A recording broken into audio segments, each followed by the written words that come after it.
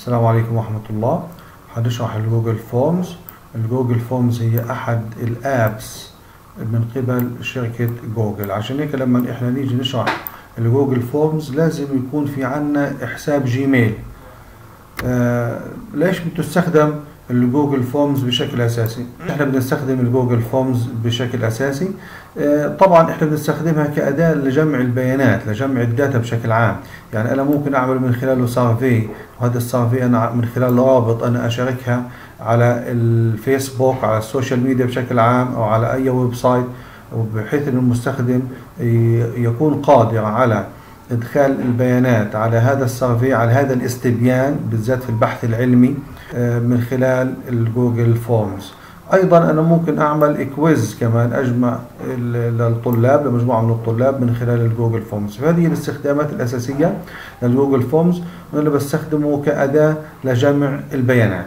وأيضا هو مرتبط بال spreadsheet اللي من ضمن تطبيقات أيضا جوجل الآن في مجموعة من ال data types اللي إحنا بنستخدمها مع ال Google Forms. طبعا الشرح ال data types راح تكون بشكل أوضح لما إحنا نعطي example شامل يشمل كل هذه ال data types ولكن على سبيل المثال في عندنا ال short answer في عندنا ال paragraph في عندنا من ضمن ال data types أيضا ال multiple choice أيضا من ضمن ال data types ال checkboxes في عندنا ال drop down أيضا ال file upload ومن ضمن أيضا ال data types اللي موجوده عندنا ال linear scale وال multiple choice grid ال checkbox grid ال date ال time. إن شاء الله هذه الأنواع كلها راح يتم شرحها بالتفصيل. في الجانب العملي هناخد example تطبيقي يشمل كل هذه ال data types بيصير شكلها بيصير شرحها أوضح بهذا الشكل. جوجل بده أعمل أنا login على ال Gmail أحط ال username وال password وأعمل login على ال Gmail. بعد ما أنا أكون عملت login على ال Gmail راح أجي هان بلاقي حاجة اسمها ال Google Apps. فيها تطبيقات جوجل مجموعة من التطبيقات. ال Google Forms راح تبقى موجودة من ضمن ال Drive من ضمن التطبيقات الموجودة على ال Drive عشان هيك هو connected مع ال Google Docs بشكل عام. الآن إحنا موجودين في ال Google Drive طبعا Google Drive بيعطيني مساحة تخزينيه لحد 15 جيجا. بيتم تخزين ال Google Form مباشرة على ال Drive من ضمن المساحة التخزينية. طبعا هو أيضا مرتبط بال Google Docs وال Sheets وال Slides. تمام الآن هروح على ال Google Forms. في ال Google Forms إحنا ممكن نشرح الموضوع من خلال المثال تطبيقي يعني نفترض إنه أنا بدي أجمع بيانات من الناس اللي بدها تقدم لوظيفة في مؤسسه ما. فممكن أنا أعطي عنوان لهذا ال form أسميه مثلا job application ممكن أنا أوصف هذا ال application لإيش بالضبط. فمو فأوصف مثلا this application. Designed to apply for Jerusalem مثلا اسم الشركة مثلا.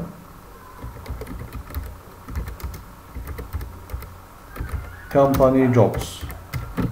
مخصص عشان إنك أنت تقدم من خلاله لوظائف في شركة Jerusalem في عندي هنا عنوان للنموذج. Untitled طبعا هو العنوان. لما أعمل أنا click عليه by default حياخد ال title اللي لل form منها. فأصبح عندي ال form الآن حيتخزن على ال Google Drive باسم job application طيب إيش أول سؤال ممكن إحنا نسأله؟ مثلا ممكن نسأل what is what is your name نحاول ناخذ إحنا مجموعة متنوعة من الأسئلة بحيث نغطي كل أنواع ال data types الموجودة عندي. لما الواحد بده يجاوب على السؤال what is your name أكيد هو راح يجاوب الإجابة مش راح تزيد عن سطر أو أقل فبالتالي ال data type المناسبة هي ال short answer آه الآن ممكن أسأل كيف تضيف كمان سؤال؟ ممكن أنا على الزائد هنا أعمل click بيضيف لي كمان سؤال. أسأله مثلا السؤال الثاني uh, what is your gender مثلا؟ الجلدة طبعا حيكون عندي يا إما male يا إما حيكون عندي female طبعا هو يعني by default هو راح يختار عندي ال multiple choice يعني أول ما شاف جندر فهو حدد ال data type الأقرب لهذا الموضوع هي ال multiple choice فال multiple choice بيتيح لي بستخدمه لما يكون السؤال إنه في عندي مجموعة إجابات وأنا بدي أختار إجابة واحدة فقط واختيار أحد الإجابات ينفي اختياري للإجابات الثانية. فبالتالي النوع المناسب هو عندي راح يكون ال multiple choice طيب قبل ما نكمل إحنا نحاول نفهم الفكرة الموجود عليها ال application نحاول نعرض ال data اللي إحنا عملناها لغاية الآن. آه الآن في عندي أنا في خانة ال questions يعني أنا قاعد بصمم النموذج وأنا في آه منطقة ال questions الإجابات لما حد يجاوب على النموذج حتيجيني الإجابات هنا. طبعا ما فيش حد عندي حد عبى النموذج فبالتالي zero responses بيحكي لي. النقطة الثالثة المهمة إنه أنا كيف هذا ال application بيقعد لل user بيقعد للمستخدم. أنا حآجي هنا أعمل preview أعمل click عليها بروح بيعمل لي preview لمين؟ لهذا ال job application. فلاحظوا المستخدم لما يجي يعبي النموذج راح يشوف ال form بهذا الشكل. job application والوصف what is your name هنا حيكتب إجابته. what is your gender حيختار هنا male أو female لاحظوا إنه هنا short answer وهذا النوعها multiple choice حيعمل بعد هيك submit لمين؟ لإجابته. طيب نكمل تصميمنا للنموذج ممكن أضيف كمان سؤال عندي هنا. من ضمن الأسئلة مثلا الباراجراف مثلا ممكن أنا أقول له describe your job related skills. أوصف لي مهاراتك اللي لها علاقة بالوظيفة اللي أنت قاعد بتقدم عليها. وقتها أنا حختار يعني لاحظوا حتى لما حكينا describe فحختار ال data type paragraph ال paragraph يتيح لي الفقرة الإجابة تبقى فقرة مش مجرد فقط short answer زي what's your name. لو جينا عملنا هنا ال preview عملنا refresh لل preview عملنا reload إلها لاحظوا إنه قال لي describe your job related skills. ممكن أنا أنا أوصف زي ما بدي هنا بيتيح لي مجموعة من الاسطر على شكل شكل فقرة بيستوعب الإجابة مني. طيب نشوف كمان بعد هيك نضيف كمان سؤال. آه نضيف سؤال ثاني من الزائد هنا. آه what are مثلا what are your what are your hobbies إيش هواياتك؟ هنا ممكن أنا يكون في عندي أكثر من إجابة أو ممكن يختاروا أكثر من إجابة. يعني اختار ال data type عندي تكون آه عبارة عن check box من ضمن مثلا هواياته لو قلنا مثلا reading مثلا swimming من ضمن الهوايات مثلا عندي running رياضة الجري. لاحظوا إنه هو بيتيح لي إن أنا أستخدم أكثر من إجابة. لو جينا هنا على ال preview عملنا preview reload هاي ال check box ممكن أنا أختار أكثر من إجابة في نفس الوقت أو أختارهم كلهم أو إني ما اختار ولا إجابة. هذا بيعتمد على إذا كان الاجابة على هذا السؤال required والله مش required. هذا حنشرحها إن شاء الله كمان شوية. طيب نضيف كمان سؤال تاني ال drop down مثلا. نضيف سؤال هنا على ال drop down ممكن نسأل مثلا سؤال where do you live. وين أنت مثلا ساكن. وأقسم وأقول له هذا عندي نوع السؤال ال drop down وأحدد له مناطق القطاع غزة مثلا نورث أو غازا أو الميدل أو خان يونس أو رفح. طب لو عملنا الآن preview نشوف كيف شكل الإجابة راح يكون موجود معايا. نعمل reload لل form مرة ثانية. What where do you live? جاب لي إياها عبارة عن drop down حدد لي الخمس مناطق اللي في قطاع غزة. نضيف كمان سؤال تاني. ناخد نوع data type تانية. آه، مثلا ناخد ال date نسأل سؤال العلاقة بال date مثلا. آه، نقول نسأل مثلا what is your birthday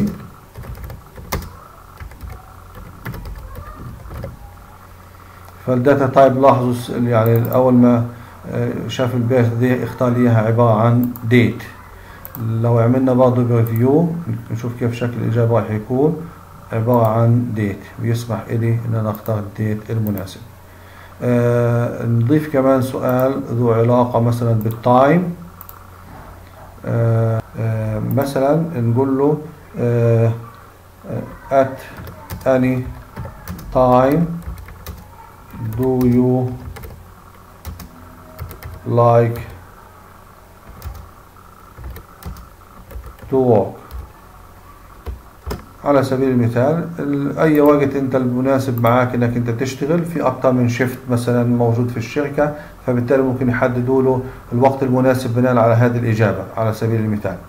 فبالتالي إحنا اخترنا نوعها time آه طيب في عندنا ضمن ال data type أيضا ال file upload فأنا ممكن أطلب منه من خلال نفس النموذج أضيف كمان سؤال واقول له upload your CV حمل لي ال CV في نهاية الطلب. أجي هنا أختار إيش نوع ال data type file upload في ال file upload بدي أنا أحدد بعض الخصائص لل files وبعض ال restriction على ال file upload فهقول له continue بعد ما يحمل عندي بيقول لي allow only specific file types. يعني اسمح بنوع معين من الملفات. ما تسمح بكل أنواع الملفات. أقول له okay طبعا. هذا ال- الصح إنه أنا ما أسمح لكل أنواع الملفات بالذات أنا أطالب منه هذا إنه يعبي إنه يرفع ال CV فبالتالي صيغة ال CV ممكن تكون مثلا document ممكن تكون PDF فقط مش أكثر من هيك. طيب ال maximum number of files قديش العدد الأقصى للملفات اللي ممكن يحملها هان؟ هقول له حمل ملف واحد أنا هي CV واحدة يا إما ملف PDF يا إما ملف document طيب قديش حجم الملفات؟ لأنه لاحظوا هذا كله بياخذ عندي من المساحة التخزينية. فبالتالي لازم أنا اكون محدد الحجم ال- ال- الملف اللي ممكن هو يعمل له upload ما يزيد عندي عن 10 mega. بعتقد 10 mega لملف CV آه، كافي جدا إنه هو يحمله ويكون شامل لكل المعلومات. آه، الآن ممكن إحنا نضيف كمان آه، سؤال. نقول له مثلا إنه upload your certificates. أنا بدي أحمل كمان شهاداته من ضمن ال application اللي عندي. برضه هختار نوع file upload.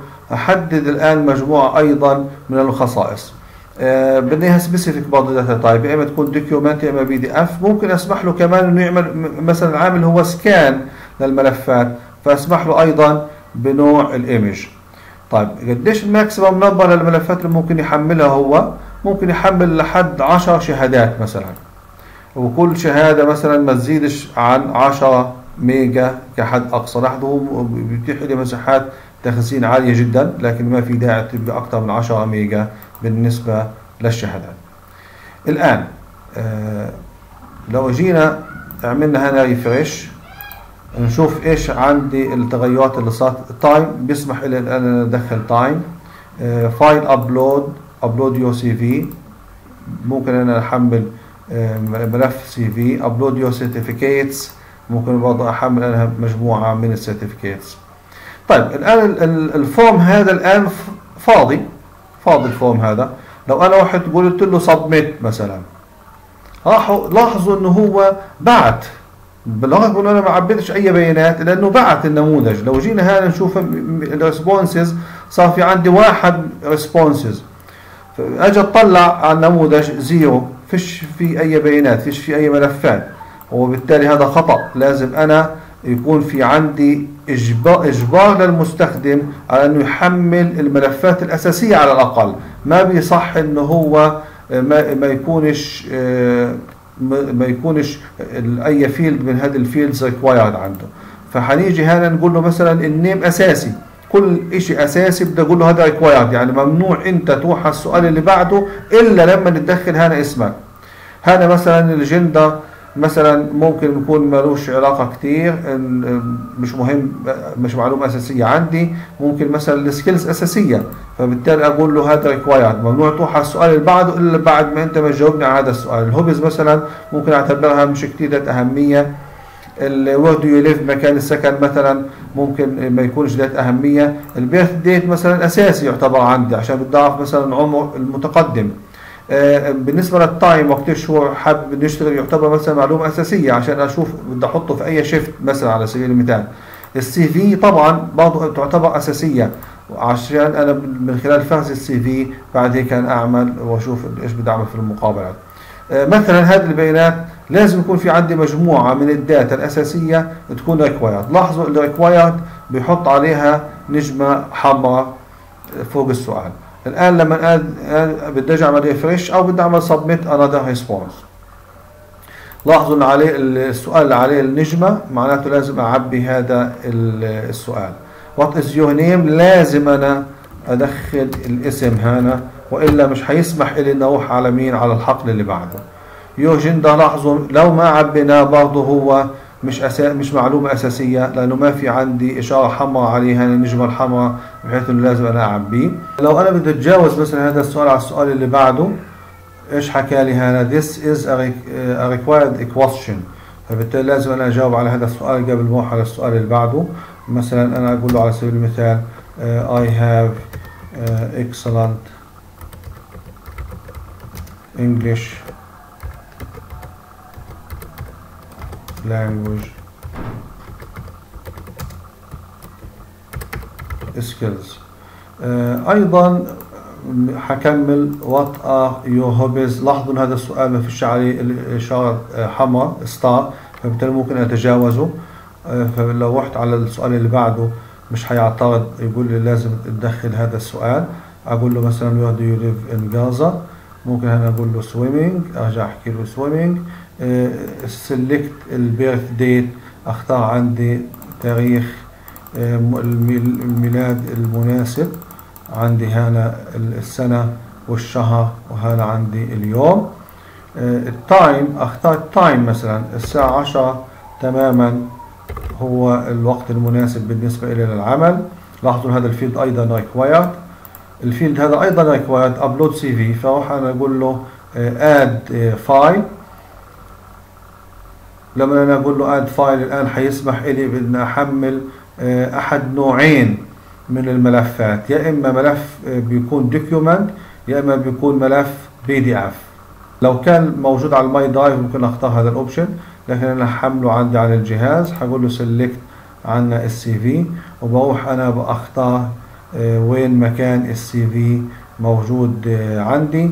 الآن نوع ال CV مثلا CV trainer أعملها open بيتم تحميل الملف.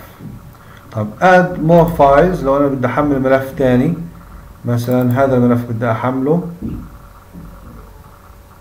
إيش قال لي هنا؟ try again with fewer items. Upload of up to one item are allowed. ممنوع انت تحمل أكتر من ملف واحد. فانت حملت ملف هنا ال CV trainer مثلا dot PDF ممنوع تحمل أنت ملف تاني. مسموح لك فقط هنا تحمل ملف واحد. طب لو قلت له أنا مثلا بدي أحمل ملف يكون من نوع فيديو. هاي في عندي مثلا أشوف مجموعة من ال videos. أروح مثلا أختار هذا الملف هذا ملف فيديو أحاول أحمل هذا الملف أعمل له open إيش قال لي؟ selected file اللي هو اسمه is not supported for upload. ممنوع تحمل انت هذا النوع من الملفات. هذا النوع مش supported انك انت تحمله. ف okay حملنا على حسب الشروط اللي إحنا حطيناها. هنقول له file upload بيعمل uploading الآن لملف واحد سواء نوع PDF أو نوع doc هم فقط المسموحين ومسموح فقط ملف واحد انت تحمله مش أكتر من هيك. بعد ما يحمل عندي الملف الآن تم تحميل الملف. لو إحنا على السؤال الأخير إحنا ممكن نحمل مجموعة من الشهادات فبالتالي أقول له file upload الآن هيسمح لي أن أحمل أكثر من نوع من الملفات لكن في نفس الوقت لازم أكون أنا آه، ماخذ بالي إنه ممنوع يكون أنواع تانية من الملفات. يعني ممنوع مثلا يكون عندي هذا الملف فيديو. لو إحنا مثلا على آه، ملف فيديو وقلنا له حمل لي هذا الملف. حنشوف إذا كان بيسمح لي حقول له all files. آه، أقول له مثلا حمل لي هذا النوع آه، من الملفات. نختار ملف يكون فيديو. أقول له open. إيش قال لي؟ selected file schedule كذا كذا. Is not supported for upload. هذا النوع مش مسموح لك انك أنت تحمله. فبالتالي أنا سمحت له ب image أو document PDF. فأحمل أحد الأنواع المسموحة فقط ما أحمل أشياء تانية غير هيك. الآن لو بدي أحمل مثلا آه، شهادة له صورة حيسمح لي أحملها. يعني من ضمن الأنواع المسموحة من الملفات لو بدي أحمل عندي آه، ملف مثلا text حيسمح لي بهذا النوع من الملفات. لو أنا بدي أحمل كمان نوع ملف PDF فحيسمح لي بهذا النوع من الملفات. فهذول الثلاث أنواع المسموحة هعملهم upload الآن بيحمل عندي هذه الثلاث أنواع المسموحة من الملفات.